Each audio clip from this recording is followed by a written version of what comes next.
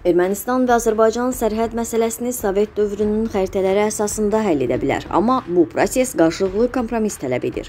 Bunu Rusiya prezidenti Vladimir Putin Valdey Beynəlxalq Diskussiya klubunun iclasında çıxışı zamanı bildirib. İndi ən vacib şey sərhəddəki vəziyyəti həll etməkdir. Əlbəttə ki, Rusiyanın iştirakı olmadan burada heç nə etmək mümkün deyil. İki tərəf və Rusiyadan başqa heç kim lazım deyil.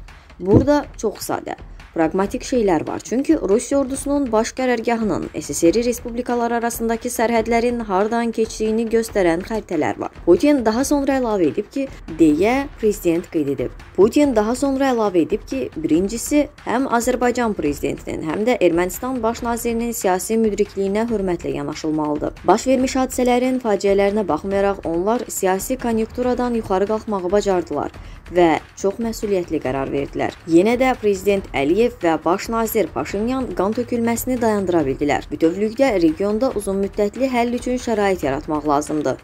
Bu şərtlər yalnız hər iki tərəfin əldə etdiyi razılaşmaları uzunmüddətli olaraq qəbul etməsi və hər iki tərəfin üstünlükləri qiymətləndirilməsi şərti ilə yaradıla bilər. Mən burada dinc, yanaşı yaşamağı vurğulamaq istəyirəm. Bunda isə hamı maraqlıdır deyə Putin vurğulayıb.